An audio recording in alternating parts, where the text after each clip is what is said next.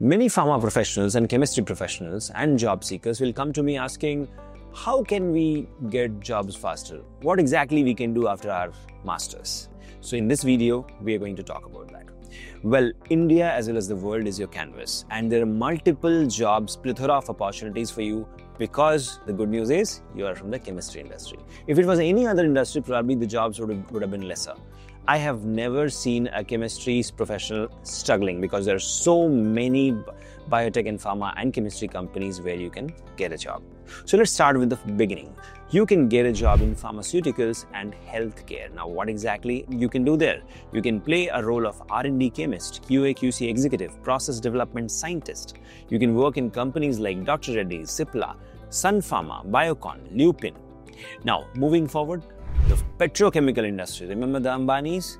They are ready to welcome you, my dear friend. You can work as a production chemist, analytical chemist, safety officer in companies such as Reliance, Indian Oil, ONGC, and GAIL GAIL. Now you can also go into the food and beverages industry because all the food and beverages is essentially chemicals, right? So you can play a role of a food chemist, quality analyst, regulatory affairs executive, and you can work in companies such as Nestle, ITC, Britannia, Amul. And do you think this is less opportunities? Well, you can also get into the cosmetic industry. So, ladies, get excited. If you are, if you have done a chemistry degree, you can get into uh, as formulation scientist, product development chemist, and you can work in companies such as Hindustan Unilever, L'Oreal, Lakme, P&G, Procter and Gamble.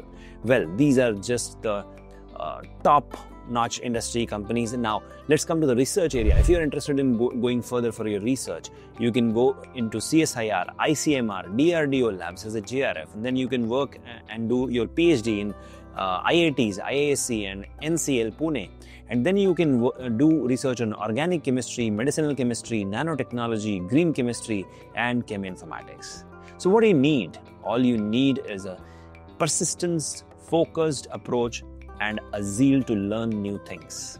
The chemistry industry is ready to welcome you. But the question is, are you ready?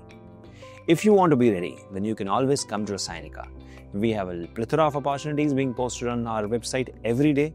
On the top of it, we provide you training for cheminformatics and artificial intelligence and drug discovery. The next batch is starting very, very soon, so stay tuned and subscribe to Rasayanika and we'll update you. All the best.